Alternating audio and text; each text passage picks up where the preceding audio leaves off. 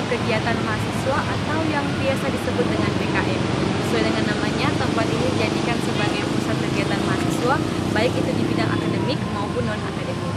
Tempat ini juga disediakan berbagai fasilitas untuk berolahraga, baik itu untuk kalangan mahasiswa maupun untuk kalangan umum. Nah, tempat di belakang saya merupakan salah satu tempat yang ramai dikunjungi oleh kalangan umum untuk melakukan olahraga, baik itu di sore hari maupun di pagi hari jika di hari libur sudah sangat ramai dikunjungi.